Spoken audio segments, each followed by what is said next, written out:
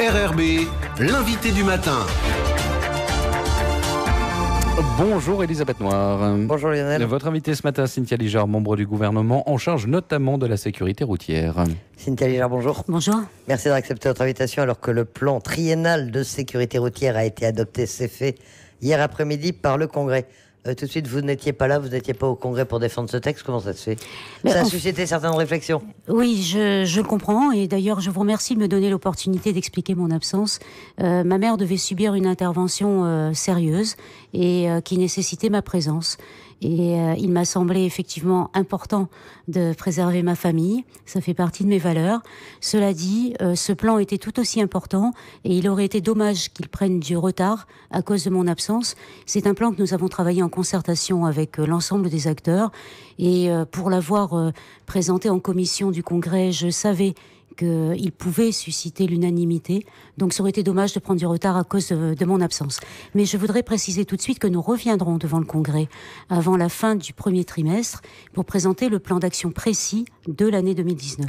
On va, on va y revenir. Mais donc Mhm. ce plan, euh, on en avait déjà parlé, vous l'avez préparé avec une méthode très euh, participative, avec beaucoup de concertation. C'était vraiment une volonté d'associer très largement tout le monde. hein. Oui, c'était une volonté, et puis je crois que c'est un des bénéfices euh, du plan quinquennal qui s'est terminé donc en 2018, que d'avoir euh, fait évoluer les mentalités. Et du coup, nous avons aujourd'hui en Nouvelle-Calédonie une, une véritable communauté de la sécurité routière, avec un engagement de toutes les parties, que ce soit les associations ou la société civile. Et il était important pour élaborer notre prochain plan d'associer justement tous les volontaires, parce que c'est seulement si chacun nous euh, prend conscience de, de la nécessité d'une plus grande sécurité sur la route que ce plan euh, aura quelque chance de succès. La sécurité routière, c'est vraiment une priorité en Nouvelle-Calédonie. Il y a des chiffres qui ont été rendus publics. Hier, le coût de la sécurité routière en Calédonie, c'est 30 milliards par an. Comment ça s'explique? Ça paraît euh, énorme. Alors bon, il faut préciser tout de suite que ce chiffre, c'est c'est un chiffre qui est calculé sur sur des, des bases euh, internationales. Donc en gros, euh, c'est terrible à dire, mais on estime le coût d'une vie en fonction euh, de l'âge auquel on la perd. On estime le coût d'un handicap à vie, etc. À la fois en termes de perte pour la société, parce que chacun de nous apporte quelque chose à la société, et si on disparaît prématurément, on apporte moins, et aussi en coût, en soins, en, enfin ce que ça peut coûter par la suite en aide sociale. Donc euh, 30 milliards, c'est énorme, et donc ça justifie largement qu'on y mette euh, le plus de moyens possible. Et quand je parle de moyens, je ne parle pas forcément de moyens financiers, pas seulement en tout cas, mais aussi de, de moyens humains et euh, de bonne volonté. Alors, c'est un plan euh, triennal. On l'a déjà dit, c'est c'est c'est un c'est pas un catalogue de mesures. On on n'arrive pas à identifier forcément précisément un certain nombre de choses. Euh, certains au Congrès ont dit hier que c'était une suite de vœux. Euh, Qu'est-ce qu'il faut en retenir concrètement? Alors, ce qui a été euh, voté par, euh, par le Congrès hier, et euh, je remercie mes collègues du Congrès d'avoir compris la philosophie de, de ce que nous avons présenté, ce qui a été voté en réalité, c'est une vision, un cap fixé pour les 25 prochaines années en matière de sécurité routière pour la Nouvelle-Calédonie.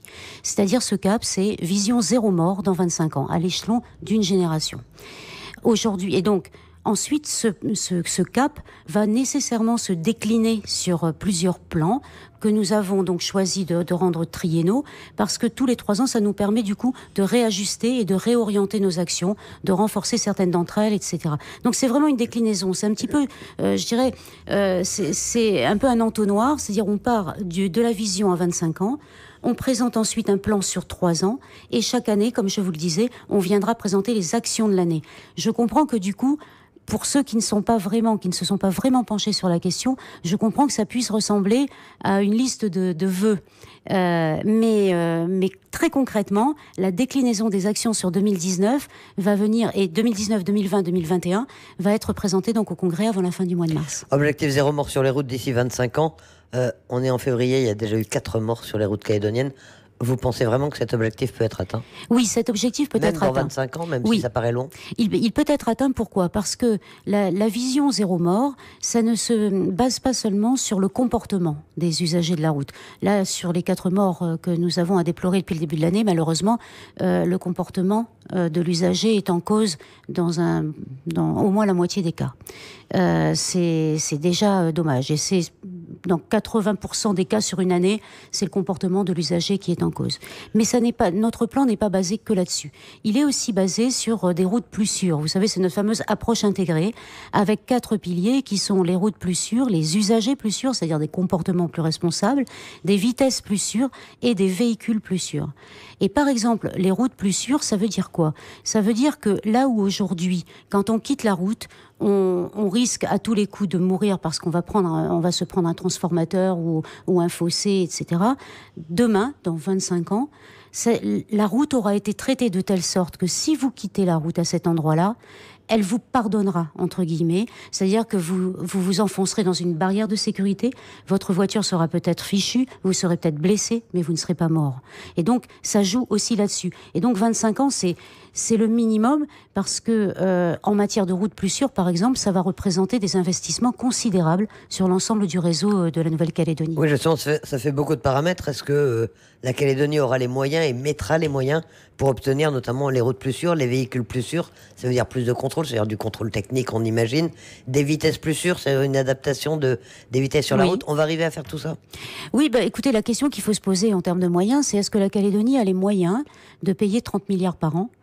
Pour les morts sur la route Et je crois que la réponse est non. Je crois qu'on ne peut pas se permettre, tant au niveau humain que financier, de continuer à avoir 30 milliards par an euh, de coûts pour l'insécurité routière en Nouvelle-Calédonie. Alors des usagers responsables, c'est, on l'a dit mille fois, hein, les causes des accidents en Calédonie, vitesse, alcool, drogue, non-port de la ceinture de sécurité. Euh, L'objectif, c'est de travailler sur tous ces aspects à la fois. Et, est-ce qu'on peut vraiment changer les comportements? Ah oui. Alors, il y a d'abord ce travail qui a été engagé depuis déjà euh, trois plans de sécurité routière euh, successifs euh, au niveau des scolaires, puisque aujourd'hui, depuis la maternelle jusqu'à la fin du collège et demain, j'espère, jusqu'à la fin du lycée, on sensibilise, on éduque les jeunes à plus de sécurité routière. Donc, pardon, on aura bien forcément un moment, une génération qui arrivera et qui sera euh, clairement sensibilisé à cela. Donc ça, c'est un travail de longue haleine, mais euh, on peut le faire. Ensuite, euh, pardon. Excusez-moi. Allez, vous avez un verre Oui, oui, merci. euh, et, et, donc, du coup, j'ai perdu le fil, pardon. Euh... On parlait des, des, comportements euh, de responsabilité. Oui, merci. De la oui, oui, merci. Après, euh, donc c'est d'abord une affaire de génération, mais il y a aussi, euh, du côté des gens de, de, de, notre âge, de notre génération, donc les plus vieux, euh, une responsabilisation à opérer et notamment à refuser de continuer à considérer qu'un comportement déviant sur la route est un comportement acceptable. Et voilà, c'est c'est un petit peu dur quand, je le dis comme ça, mais je crois que c'est possible. Et surtout, enfin, moi, je suis je suis vraiment optimiste parce que lorsque nous avons préparé ce plan euh, partout en Calédonie, nous sommes allés à Lifou, nous sommes allés à Coné, nous avons fait vraiment de nombreuses réunions. Les gens qui y ont participé, ça n'était pas, euh, je dirais, des gens qui sortaient de leur bureau pour, pour donner des, des instructions. C'était des usagers de la route qui eux-mêmes ont exprimé des choses. Et je sais que par exemple hier au Congrès, euh, un des élus a évoqué euh, la possibilité de brider, par exemple, la puissance des véhicules. Je crois qu'il faut rien balayer il faut tout étudier parce que toutes les idées sont bonnes à étudier et après on verra celles qui sont le mieux, le plus, celles qui sont le plus pertinentes à un moment donné. Nous avons 25 ans. Les vitesses plus sûres, on sait qu'en métropole notamment, ça a suscité tout un débat quand euh, la vitesse a été ramenée à 80 km/h sur les, les, routes, euh, les routes départementales.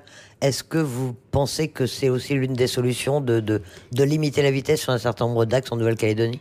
Alors, même si ça m'agace d'avoir à le reconnaître, euh, on sait aujourd'hui que réduire la vitesse de 10 km heure, ça peut effectivement réduire les risques d'accident de plus de 50%. Donc euh, on a quand même un rapport effort-résultat qui est vraiment très intéressant. Cela dit, euh, si mes informations euh, sont bonnes, la province Nord envisage de rendre la vitesse limitée à 90 km heure sur l'ensemble du réseau provincial Nord très rapidement. Je crois que c'est dès cette année. Donc peut-être que la province Nord pourrait nous servir de, province pilote, de réseau routier pilote, et nous verrions peut-être des résultats déjà à ce moment-là. Alors maintenant que ce plan triennal est, est adopté par le Congrès, qu'est-ce qui va se Qu'est-ce qui va piloter ce dispositif et, comment est-ce que les différentes euh, mesures, les différentes préconisations vont être mises en œuvre Alors, ce qui se passe d'ores et déjà, nous avons, euh, parce que bon, euh, ce plan, nous, nous l'avons travaillé déjà jusqu'à la fin de l'année dernière, donc tout était prêt, a été présenté en commission, etc. Entre-temps, ce que nous avons fait avec le Conseil permanent de la sécurité routière, c'est que nous avons travaillé sur le programme d'action à présenter donc avant la fin du mois de mars. Et là, on a une liste d'actions comme, comme ce à quoi sont habitués les élus, que nous viendrons leur présenter. Donc, qui pilote? Qui pilote, c'est le gouvernement, avec le chargé de mission à la sécurité routière. Euh, mais le, chargé de mission à la sécurité routière ne pilote pas tout seul. Il s'appuie sur le Conseil permanent de la sécurité routière, qui a dans notre dans ce nouveau plan un rôle renforcé avec un véritable rôle de prescription, de choix des, des actions à proposer au Congrès. Donc euh, il ne s'agit pas donc de, du travail d'une personne, mais bien de toute une communauté qui vient présenter ça. Nous sommes, euh, nous sommes quasiment prêts là, puisque je suis de retour, nous allons y travailler cette semaine. Plan triennal, dans trois ans, on fait un bilan, on voit si on est bien parti Oui, alors on, dans trois ans, on, on, aura réalisé un certain nombre de choses. Par exemple, une des actions que nous aurons à mener, alors il y, a des actions de fond, un peu invisibles, et puis il y a des actions plus visibles. Dans les actions invisibles, euh, qui sont des fondations, nous allons mener un travail euh, d'audit de, l'ensemble du, du réseau routier territorial et sans doute provincial aussi parce que les provinces sont vraiment des parties prenantes très actives. Euh, province Sud, province Nord, province des îles, mais province des on, en parle aussi avec eux. Euh, et donc on va mener un audit sur l'ensemble des réseaux des, des, réseaux routiers pour identifier les, les sites et les tronçons accidentogènes.